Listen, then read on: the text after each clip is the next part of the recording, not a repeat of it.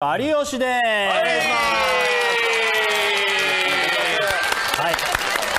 お願いします。有吉を大体アイアイドルは通ってからそうですね。まあこうパッと見でこの子いいなっていう有吉眼でいくと。俺はこの厳しい目。今手振ってるようなやつはダメですね。最後やっぱり苦手なものをやっぱり食べたという、なるほど。えー橋本さんで、